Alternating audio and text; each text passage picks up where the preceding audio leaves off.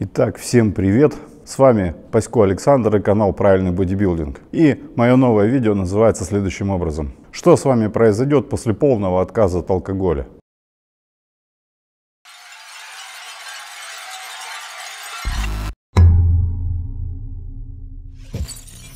В своем прошлом видео я обещал то, что освещу эту тему, ну и решил не откладывать долгий ящик и поделиться конкретно своим опытом по поводу того, что же может происходить с человеком, который полностью отказывается от алкоголя. То есть не на неделю, не на месяц, а совсем.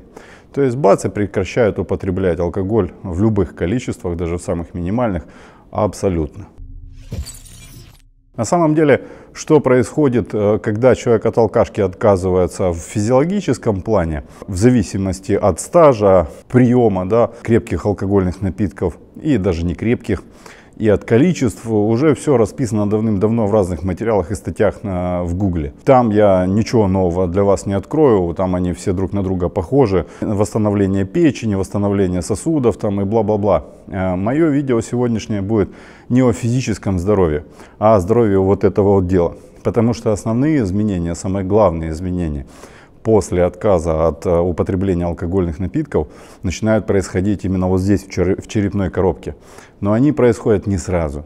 И эти основные изменения, они многим, кажется, что они уже к этим изменениям пришли там через месяц, через полгода. На самом деле это еще далеко не все, это только начало. Э, полностью просыпается мозг да, и начинает работать так, как бы он хотел работать. Именно где-то через год, а то и через два после полного отказа от употребления алкогольных напитков. По сути, в том, что просыпается вот здесь, и кроется причина, а, основная причина, по которой люди употребляют алкоголь. Кто-то употребляет его раз в неделю для того, чтобы расслабиться, кто-то употребляет там каждый день. Вот. Ну, а кто-то употребляет там изредка, да, по праздникам, скажем так, чтобы э, иметь возможность развеселиться. Но, э, в принципе, э, причина во всех этих случаях одна и та же. Избавиться от разговоров собственного ума. Есть люди, которые э, выпивают раз в неделю, причем очень неслабо выпивают. Я о таких людях уже как-то упоминал. По той причине, что у них идет очень серьезная мозговая деятельность. Это люди недюжинного ума, скажем так. И вот эти люди, они находятся где-то, на, наверное, на высшей ступени э, интеллектуального развития. Да? И вот э, они для того, чтобы загасить этот свой ядерный реактор, э, периодически там раз в неделю, раз в две недели вкладывают неплохо, да? для того, чтобы просто отключиться и забыться. То есть, но таких людей на самом деле единицы. Большинство начинает использовать алкоголь даже по мизерным каким-то там причинам, э, с которыми на самом деле не могут справиться. И вот об этих причинах я сейчас и расскажу. После того, как э, организм худо-бедно восстановится в физиологическом плане, потому что у каждого этот барьер восстановления будет свой, разный, он будет зависеть от стажа, от возраста, в котором человек отказался от алкоголя, и от кучи других факторов, от исходного уровня здоровья да, с рождения и все остальное. И будет зависеть от того, какое количество повреждений накопил организм за время использования алкашки. Соответственно, без принятия специальных мер, которые будут оздоравливать организм ускоренными темпами, усиленными темпами, да, а, полностью система не восстановится после употребления алкоголя. Особенно если мы говорим о поджелудочной железе. Но это можно сделать, а, например, так как делал это я с 2014 года, когда полностью чистился. А, и вот с 14 по 16 еще с помощью голодания и все остальное полностью восстанавливался. То есть я, в принципе, восстановил полностью систему. И после того, как я ее восстановил, я столкнулся с реальным положением дел э, и с тем, что на самом деле начинает твориться вот здесь, после того, как система полностью избавится от алкоголя и придет примерно в свое первичное нормальное состояние. И вот в той деятельности, которая начинается вот здесь, и кроется на самом деле основная причина, по которой многие, скажем так, бухают. Суть-то в чем? Алкоголь приводит к, так, если говорить утрированно да, и плоско, он приводит к слипанию эритроцитов, вот, когда попадает в кровь. И эти слипшиеся эритроциты образуют такие группки-паровозики да, э, хаотичные. И, и нейроны требуют э, во время мозговой деятельности требуют э, определенного повышенного количества кислорода, глюкозы, жиров, всего остального. То есть нужно определенное э, количество ресурсов да, для того, чтобы обеспечить биохимическую деятельность в клетках, которые называются нейронами головного мозга. Вот. И, естественно, нейроны снабжаются кровью с помощью капилляров. И вот э, эти капиллярчики настолько маленькие, что вот эти вот слипшиеся сгустки, да, группки э, эритроцитов просто не в состоянии обеспечить, пролезть, да, через эти капилляры э, и обеспечить нейроны кислородом. И вот из-за употребления алкоголя э, происходит э, ишемия, да, такая вот нейронов. То есть, когда эти капиллярчики затыкаются, как пробками вот этими сгустками кровяных телец, да, и в итоге кислород вообще не поступает в нейрон, и он глохнет. То есть, этот эффект э, на самом деле и и потом выражается вот в этих вот там вялых состояниях, заплетающемся языке, ногах, руках и все остальное. Это с какой, в какой-то степени способ вырубить, да, большую часть нейронов для того, чтобы они тупо перестали работать нормально. То есть они там получают какую-то, что-то там, но как бы этого не хватает для того, чтобы уже даже контролировать движение. И вот из-за вот этой вот ишемии многие нейроны погибают. А, по сути, даже минимальные дозировки а, алкоголя, особенно крепкого, да, там 50 грамм чего-то там для аппетита или еще что-нибудь, вот, вызывают все равно гибель нейронов. И если говорить утрированно, то человек, который употребляет алкоголь, он потом все равно сыт собственными мозгами, как ни крути. Но этот процесс ишемии, он позволяет заглушить э, вот этот вот внутренний голос в голове, который, как правило, человеку говорит о том, что он где-то что-то не реализовал. И вот примерно через пару лет после полного отказа от алкоголя, как было в моем случае, начинается самое веселое. И это веселое начинает еще и нарастать. То есть мозг начинает требовать активности. Кто хочет поработать? Я! Он начинает работать нормально, да, для него это нормально, а для нас, э, когда это все восстанавливается, становится определенным каким-то таким шоковым состоянием. Да подождите вы, потому что здесь появляется ядерный реактор на полном серьезе.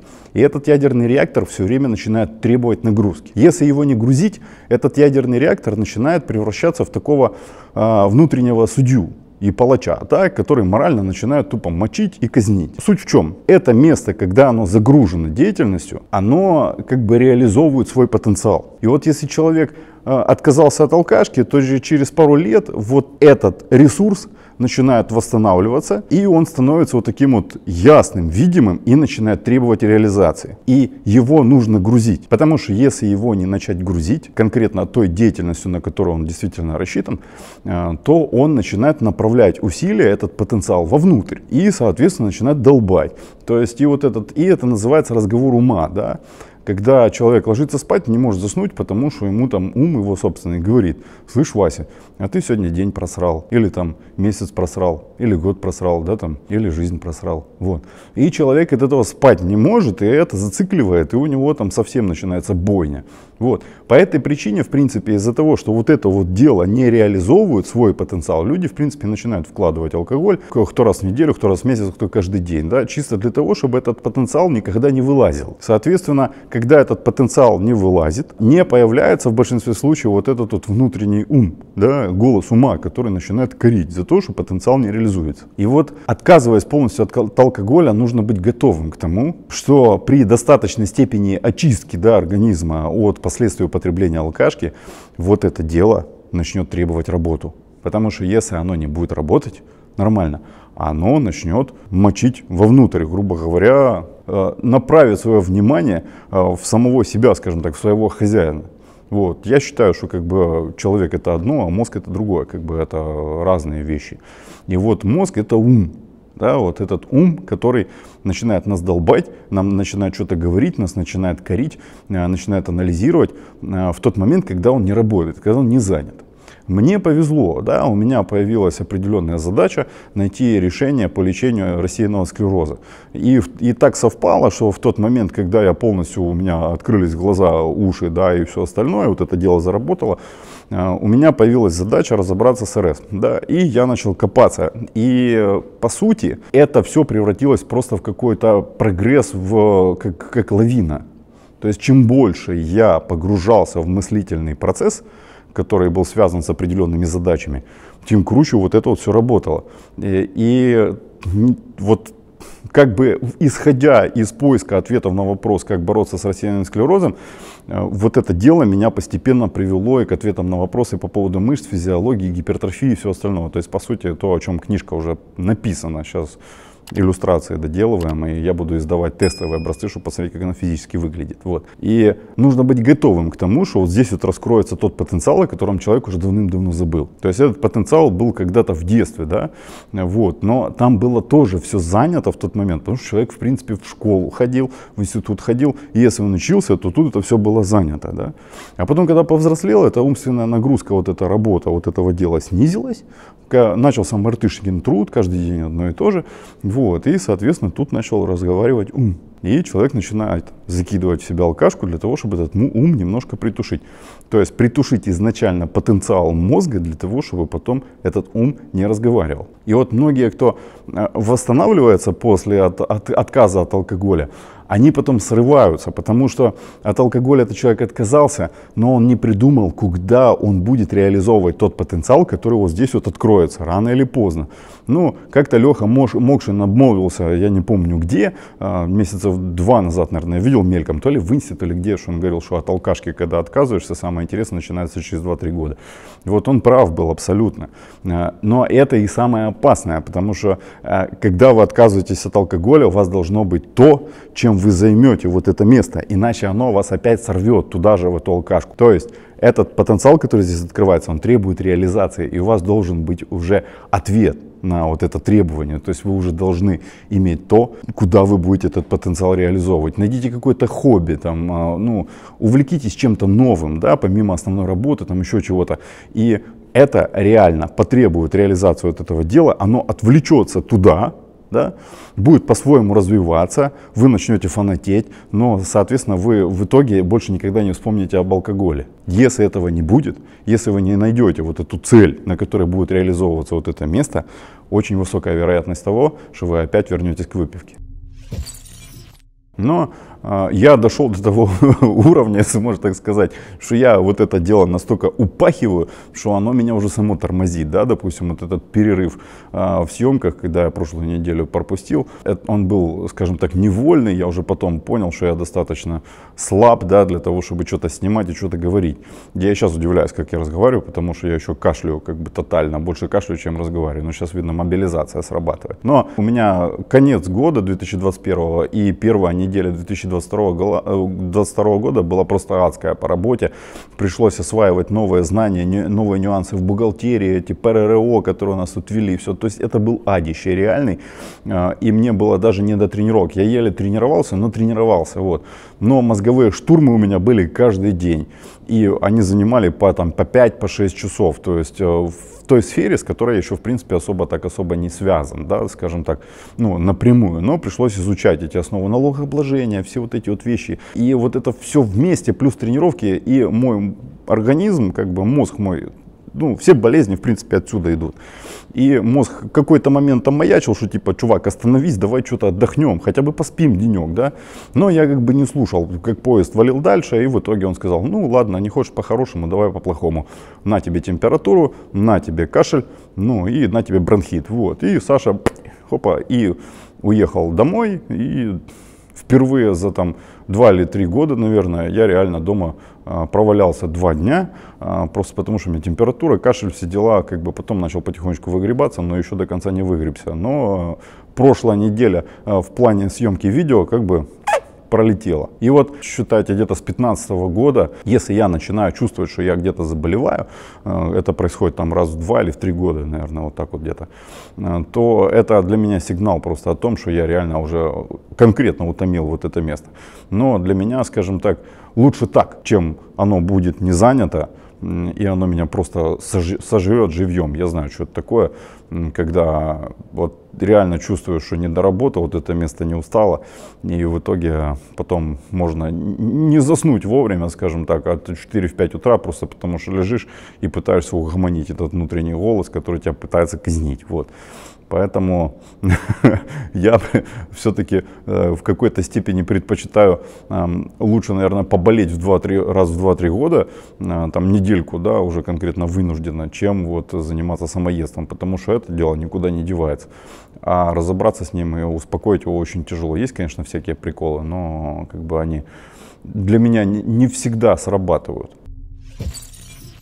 Понятное дело, что если человек отказывается от алкоголя там, в возрасте там, за 60 лет, то потенциал, вот, да, степень восстановления даже вот этого вот дела, она будет намного ниже, да, а, чем могла бы быть, если бы человек отказался там, в 30 или в 40 лет от алкоголя. Но все равно эта штука все равно будет срабатывать. Просто не в тех масштабах, не в тех объемах, но все же. И там тоже нужно найти сферу для отвлечения и э, в которой можно будет реализовывать тот потенциал, который здесь будет открываться. Потому что нервная система, центральная нервная система, такая штука очень серьезная на самом деле. И она требует активности. Э, вот она, она убивает человека, если человек ничего не делает, если он не реализует ее потенциал. Вот именно она является тем первичным звеном, которое начинает вот, уводить человека в могилу, когда ему нечем заняться, нечем занять вот это дело.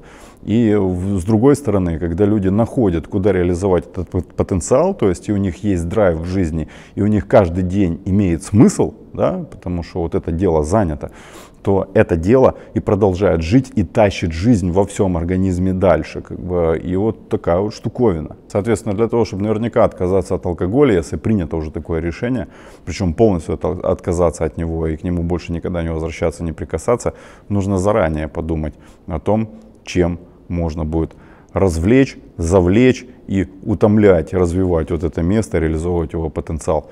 Иначе попытка может быть э, с высокой долей вероятности неудачной. Но если вы найдете это, э, отвлекающее вот это дело и хобби, и найдете чем занять вот этот ядерный реактор, поверьте, не пожалеете. Но, правда, это требует постоянного развития, вы будете развиваться, соответственно, чем больше будет работать вот это дело, тем больше вы будете развиваться, и тем больше будет меняться ваше окружение. Но то окружение, к которому вы в итоге придете, э, оно будет немноголюдным, да, но оно будет того стоить. Очень многие полегли в неравном бою с алкоголем, да, когда отказывались от, от алкоголя, теряли, скажем так, друзей, э, но, как оказывается, эти друзья были по бутылке, а не по жизни, вот, но не могли с ним смириться, возвращались к алкашке, лишь бы сохранить этих друзей.